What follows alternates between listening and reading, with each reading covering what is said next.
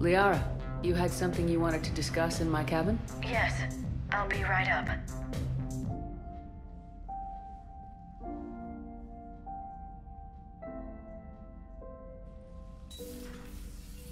Come on in.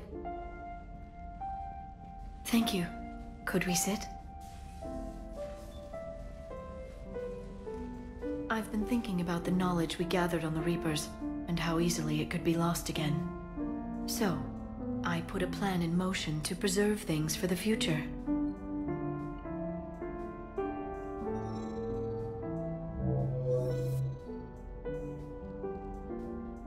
What's this? A record of the galaxy. Information on the Reapers, relays, different cultures, and blueprints of the Crucible. But there's one entry I wanted your opinion on. Which one? Your own.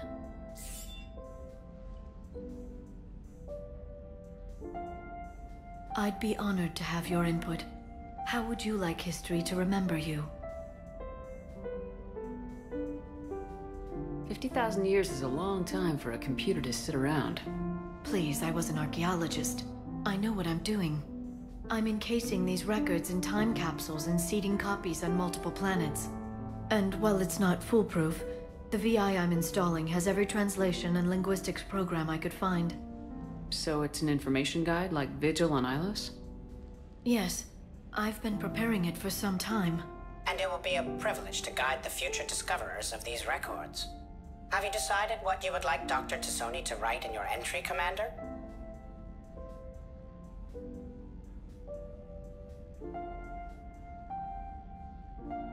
You know me well enough to fill in the blanks, Liara. Are you sure? Yeah. I'd like it to be your call. Well, I'll say Commander Shepard was born on Mindoir, but never let what happened there define her. Shepard was also a deadly tactical fighter. Most enemies never saw her coming.